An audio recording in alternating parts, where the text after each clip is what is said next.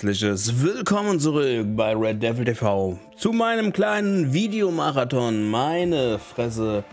Ich weiß gar nicht, das wievielte Video das ist, das ich diese Woche schon aufnehme. Nun seid ihr hier genau richtig, aber... denn es geht hier heute um das Vorberichtsvideo. Fortuna Düsseldorf gegen den ersten FC Kaiserslautern. Ja Leute, ich bin etwas erkältet, ich hab's im Hals, mein Gott. Deshalb verzeiht mir, wenn ich mich hier öfters mal räuspern muss, wird nicht alles da funktionieren. Die ganz schlimmen Aussetzer werde ich natürlich rausschneiden. Und ähm, ja Leute, so, da, äh, so viel dazu. Jetzt ganz kurz zur äh, Partie gegen Karlsruhe noch. Unsere Roten Teufel haben gegen Karlsruhe 2 zu 0 gewonnen. Ob das jetzt verdient war oder nicht, ist mir jetzt im Endeffekt egal. Die Leistung war bescheiden, das Ergebnis war umso geiler. Ein Derby-Sieg für den ersten FC Kaiserslautern, 26 Punkte, Platz 7. Das ist richtig, richtig stark. Und so kann der FCK natürlich mit breiter Brust nach Düsseldorf fahren. Ich habe mir die Statistik in der zweiten Liga für das Spiel in Düsseldorf natürlich rausgesucht. Der FCK hat in der zweiten Liga insgesamt zwölfmal gegen Fortuna Düsseldorf gespielt. Logischerweise sechsmal zu Hause und sechsmal auswärts. Ja, die berühmte Statistik und sie sieht nicht gut aus in Düsseldorf. Der FCK hat dort, wie gesagt, sechsmal gespielt. Drei Unschieden und drei Niederlagen. Noch nie konnte der FCK also in Düsseldorf gewinnen. Und ich bin absolut überzeugt, dass das ein ultra schweres Spiel wird. Und wenn der FCK so auftritt wie gegen Karlsruhe, sind wir ehrlich, dann wird das eine Niederlage geben. Aber ich bin irgendwie auch optimistisch, dass der FCK so mindestens einen Punkt aus Düsseldorf mitnimmt. Und zwar aus einem einfachen Grund. Ähm, der FCK, ich habe es jetzt schon ein paar Mal angesprochen, rollt die Statistik gerade von hinten auf. Und das allererste Mal, dass der FCK in der zweiten Liga gegen Düsseldorf gespielt hat. In Düsseldorf, wohlgemerkt.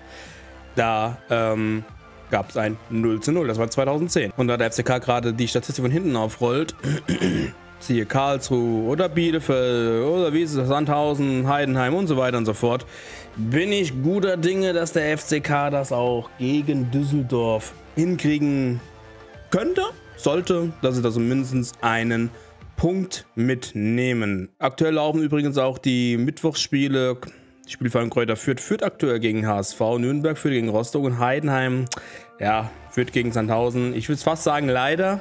Jo, jetzt ziehen sie halt wieder davon, ne? Natürlich, ich weiß, nach oben will keiner schauen, bla bla bla, weiß ich. Trotzdem, es war halt nur ein Punkt auf Platz 3. Jetzt sind es halt wieder vier, ne? Dafür führt Heidenheim gegen Sandhausen. Sandhausen ist ja dann mehr ein Konkurrent für uns. Aktuell Platz 17, 16 Punkte. Kann man jetzt sehen, wie man will was, ist, was die Ergebnisse heute für, für unten angeht, ist eigentlich okay. Na gut, ich meine, Fürth und Nürnberg führen halt eben. Fürth hat jetzt übrigens mittlerweile, wenn die gegen Hamburg gewinnen sollten, 19 Punkte. Ne?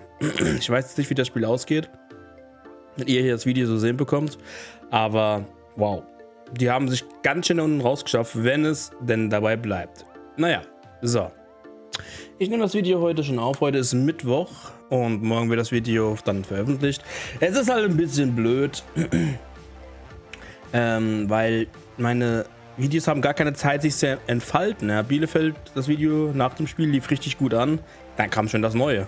Ja, Vorberichtsvideo gegen Karlsruhe. Zeitlich gar nicht alles möglich. Jetzt ähm, ist das Video gegen, äh, ja, nach dem Spiel gegen Karlsruhe gerade im Munde.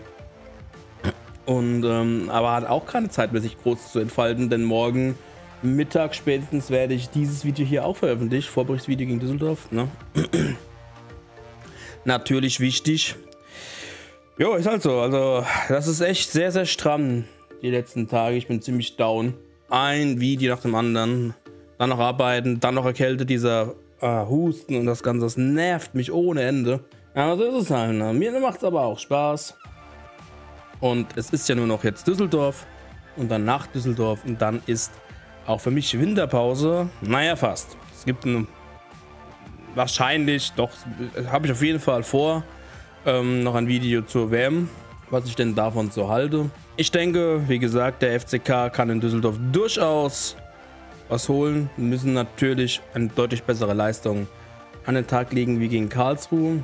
In Düsseldorf wird solche Einladungen nicht äh, so einfach vergeben wie Karlsruhe. Das ist ganz, ganz, ganz, ganz klar. Und ich habe keine Lust, dass der FCK sich mit einer, keine Ahnung, 3-0 Auswärtsniederlage oder so in die Winterpause verabschiedet. Habe ich echt keine Lust drauf. Lieber dann 0-0 und das Ganze mit 27 Punkten beenden. Das wäre richtig gut. Könnte ich mit leben. Und äh, ja, Natürlich ist es auch ganz klar, dass die Mannschaft halt ziemlich hinüber ist. Die sind halt sehr, sehr ja, angeschlagen und geschwächt jetzt. Ne? Ich meine, das ist ein so strammes Programm. Ich habe mich da schon ohne Ende drüber aufgeregt, über dieses, wie kann man sowas ansetzen? Samstags Bielefeld, Dienstag Karlsruhe und Freitag schon wieder ein Spiel, Alter. Das ist, das ist also sowas Abartiges. da kann ich mich ohne Ende drüber aufregen.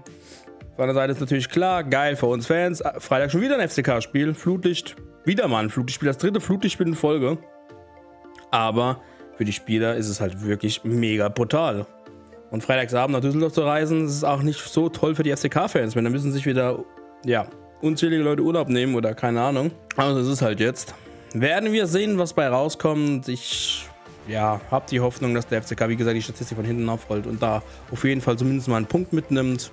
Und dann, dass wir die Hinrunde in der Ferne nicht mit einer Niederlage beenden, habe ich sehr große Hoffnung. Denn bis jetzt ist FCK das einzige Team, das im Profifußball der Fremde noch nicht verloren hat. Und das ist schon verdammt gut. Wir haben nur zwei Niederlagen kassiert in der Hinrunde.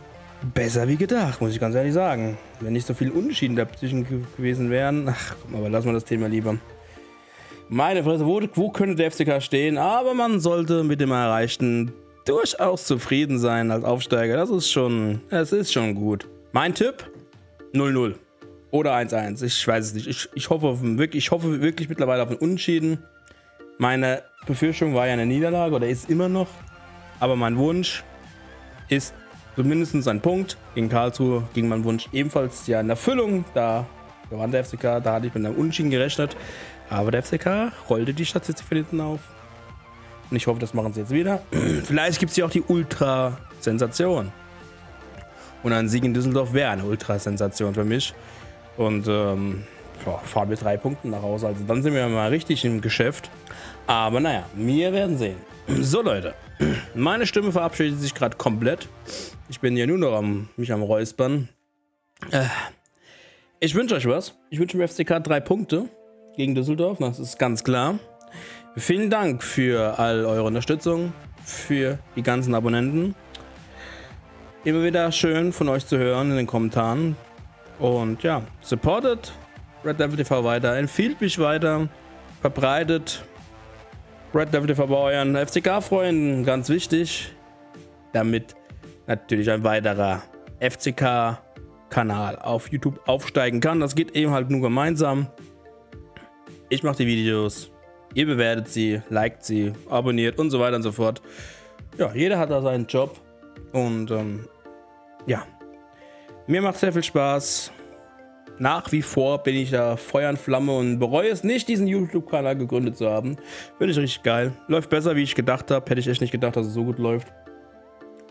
Und in diesem Sinne, Leute, ein herzliches Dankeschön. Bleibt alle gesund. Wir hören uns dann ja, wenn es mein Gesundheitszustand zulässt, wo ich aktuell noch so leicht Zweifel habe.